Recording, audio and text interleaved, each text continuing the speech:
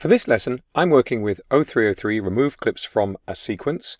That's a project file you can find with the media associated with this lesson. Just double click on the project file to open it. A large part of video editing is not adding content, but removing it. You'll often find you have clips in a sequence you would like to remove. Let's look at some approaches to this. I've got a simple sequence with uh, four or five clips in it, and if I select this second clip, kids rolling a tire, and hit the delete key, Premiere Pro leaves a gap. And that might be what I want to do because I've decided I don't want that shot, but I do want to put something else in there and I don't want to move anything around. I'll just fill in the gap later on. I'm just going to undo that by pressing Ctrl Z. That's Command Z on macOS.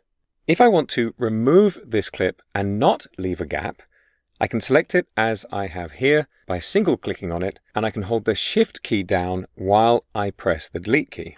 In this way, the Shift key is being used as a modifier key.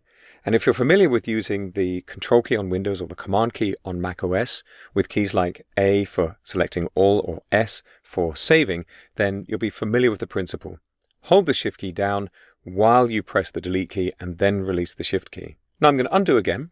And this time I'm going to select multiple clips in this sequence by holding down the shift key again. So it's a different use of the shift key. I've already got one clip selected right at the end. So I'm holding the shift key now and I'm single clicking to select the clip in the middle and I'm still holding the shift key and I'm single clicking to select the clip at the beginning.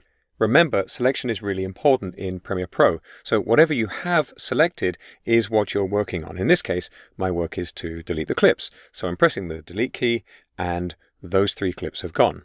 I'm going to undo that again. And this time I'm going to go to the Track Select Forward tool and I'll click again here on the Kids Rolling a Tire clip and I'll press Delete again.